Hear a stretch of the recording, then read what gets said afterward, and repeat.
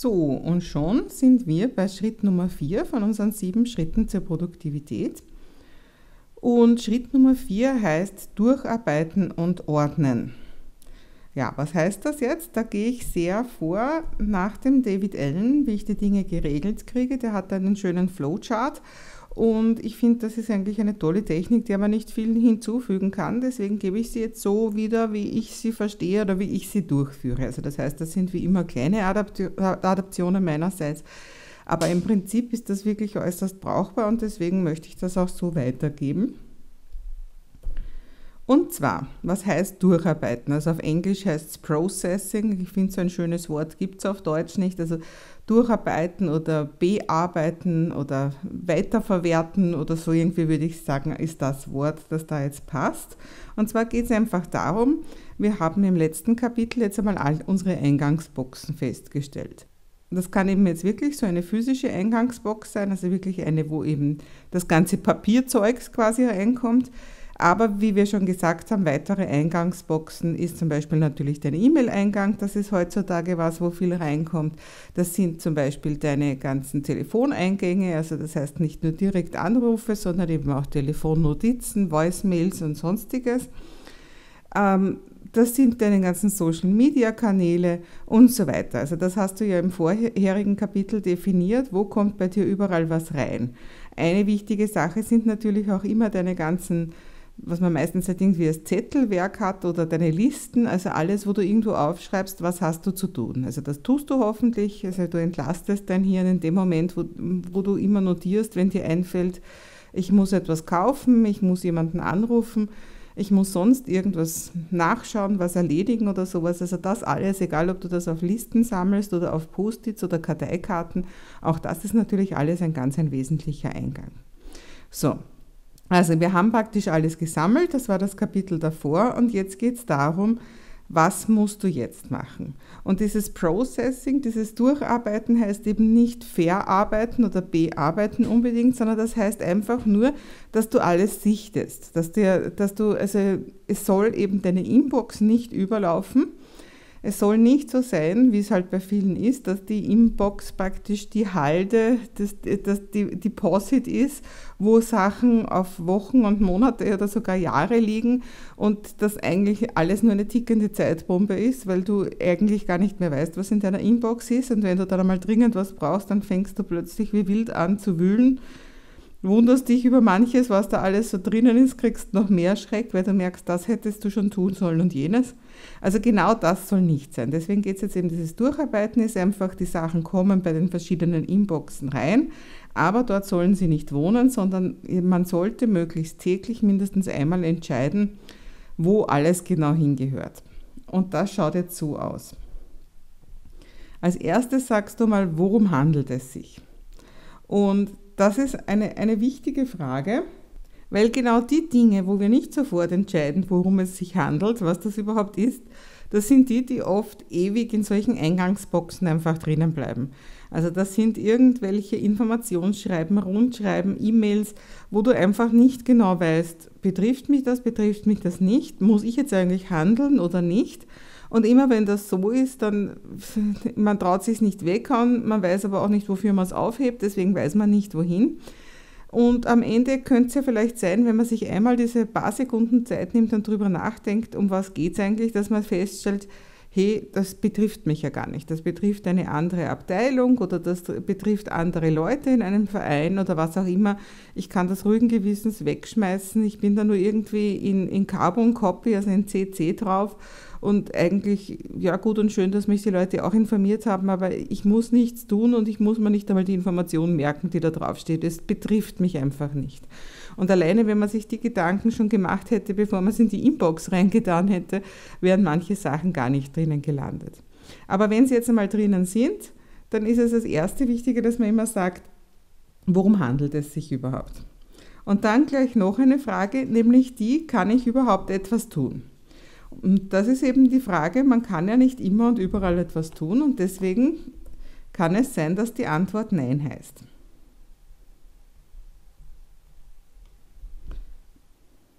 So, und wenn die Antwort Nein heißt, wie geht es dann weiter? Also ich habe ein, ein Stück Papier in der Hand, Und die Antwort heißt nein. Man kann nichts tun. Und dann gibt es eigentlich drei Möglichkeiten, was man mit diesem Zettel machen kann.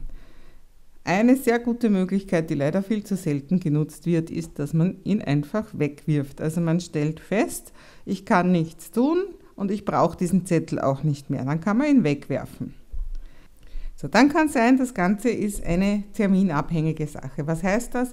Also es geht einfach um Sachen, die jetzt noch nicht relevant sind. Es geht um ein Projekt, das in drei Monaten startet oder auch privat zum Beispiel. Ich möchte mir Tickets kaufen für ein Event, das eben erst in, in, in ein paar Wochen ist und da brauche ich mir jetzt noch keine Karten zu kaufen. Also es gibt viele Gründe, warum die Sachen erst später relevant sind und dann kannst du es in eine sogenannte Wiedervorlage geben. Dazu erzähle ich dir später noch mehr beim Thema Ordnen. Aber das heißt auf jeden Fall, ich entscheide jetzt, ist nichts zu tun und deswegen kann ich das jetzt einmal in Ruhe wegtun, aus den Augen geben. Also das heißt, es ist nicht mehr in der Inbox. Und dann kann es natürlich sein, wenn nichts zu tun ist und du es nicht wegwerfen willst und auch nicht in, einen Termin, in ein Terminsystem geben willst, dass es einfach ein Referenzmaterial ist. Also das sind jetzt irgendwelche Listen, sagen wir Preislisten zum Beispiel oder irgend, irgend äh, Quellen, die du vielleicht irgendwo mal zitieren möchtest oder so etwas. Und äh, das kannst du dann ablegen. Also das ordnest du dann ein und auch dazu möchte ich dann noch mehr sagen, wie man eben sinnvoll ordnen kann. Also das wären eben diese drei Punkte zum Thema, ich kann nichts tun. Also entweder ich schmeiß weg, das ist immer das angenehmste, weil dann darf ich es ganz loslassen, oder ich gebe es zu einem äh, ich, ich, terminisiere es, wo ich später irgendwann einmal dann daran erinnert werde, wenn es auch sinnvoll ist und, und ich, ich, muss das nicht jetzt die ganze Zeit im Kopf jonglieren. Oder wenn ich einfach denke, ich werde das irgendwann einmal brauchen für irgendwas, äh, also nicht zu einem bestimmten Datum, aber ich möchte es auch nicht wegwerfen, weil das möchte ich vielleicht irgendwann einmal zitieren oder da möchte ich vielleicht irgendwann einmal was machen oder was kaufen, dann kann man es eben ablegen. Das war zum Thema Nein. Was ist aber jetzt, wenn die Frage, kann man etwas tun, mit Ja beantwortet wird? Und auch da gibt es dann verschiedene Wege, wie man weitergeht. Und zwar, man kann etwas tun. Was ist dann los? Dann ist die erste wichtige Frage, wie viele Schritte sind zu tun? Sind es zwei oder mehr Schritte? Dann sagt eben der David Allen, alles, was zwei oder mehr Schritte braucht, das ist ein Projekt. Ähm, das, also das kommt jetzt manchen vielleicht ein bisschen komisch vor, also etwas, was zwei Schritte braucht, ist schon ein Projekt. Aber das Thema ist einfach das, dass wir ganz oft glauben, solange wir uns eben keine näheren Gedanken machen, ja, das kann ich ja schnell erledigen. Also zum Beispiel eben, ich möchte die Garage aufräumen.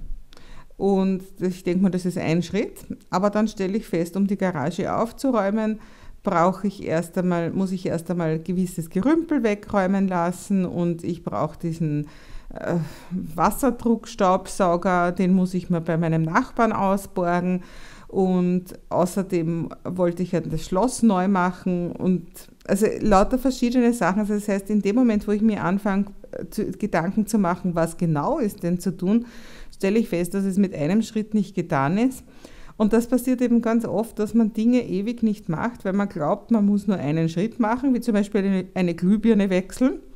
Das musste ich doch schnell machen, aber dann stellt man fest, die Glühbirne ist so hoch oben, dass ich die, die große Leiter brauche und die große Leiter ist im, im Keller und da steht aber etwas davor und das ist so schwer, das kann ich nicht alleine wegschieben und so weiter und so fort. Also das heißt, ganz oft passiert es einem einfach dann, dass äh, dass es eigentlich komplizierter ist, als man dachte. Und genau, weil man dann eben nie dran denkt, dass man jetzt, wenn, wenn einmal jemand starker da ist, dem bittet, dass man das wegschiebt, damit man zur Leiter kommt, ist die Glühbirne schon seit Monaten nicht gewechselt. Also das heißt, egal ob Firma oder privat, so wie immer, etwas, was mehr als einen Schritt braucht, ist einfach ein Projekt. Und deswegen ist es wichtig, dass ich solche Projekte auch äh, extra tituliere. Also ich, ich, ich sage, okay, das ist mein Projekt so und so und dass ich für dieses Projekt eine To-Do-Liste habe, wo ich mir eben ganz genau aufschreibe, was ist der nächste Schritt. Und da ist es ganz wichtig, dass der nächste Schritt immer mindestens ein Verb enthält. Also nicht nur irgendwie, dass ich daneben schreibe, Leiter, Leiter Keller oder sowas, sondern eben schwere Truhe vor, vor Leiter wegschieben. Also das ist ganz wichtig, damit ich mir auch wirklich klar bin, was genau ist der nächste Schritt. Und so kann ich für jedes einzelne Projekt eine nächste Schritteliste haben oder eben insgesamt, was, muss ich, was sind Schritte, die ich tun muss als nächstes. Also das heißt, das ist eben dieses eigene Thema Projekte, wo jedes Projekt möglichst eben auch eine eigene To-Do-Liste hat. Zeige ich dir nachher auch alles noch online wieder. Also das sind die großen Sachen und dann gibt es eben auf der anderen Seite die etwas kleineren Sachen, die wirklich nur genau einen Schritt erfordern. Und auch da ist jetzt wieder eine weitere Frage, nämlich wenn Sie genau einen Schritt erfordern, ist die Frage, reichen zwei Minuten aus? Das ist das, was der David Allen geprägt hat. Andere sagen drei Minuten oder sogar fünf Minuten. Also ich halte es meistens so mit drei, ja, eh drei bis fünf Minuten würde ich sagen. Also wenn, wenn das Ganze nicht länger als ein paar Minuten dauert, dann ist es doch das Sinnvollste, dass man es gleich erledigt. Also das heißt, ich habe jetzt irgendwas in der Hand, einen, äh, einen Zettel, wo ich sehe, da muss ich mich telefonisch schon anmelden. Und jetzt überlege ich mir, wie lange brauche ich dafür und dann denke ich mir, okay, wenn ich jetzt die richtige Person gleich erreiche, dann dauert das ein, zwei, drei Minuten.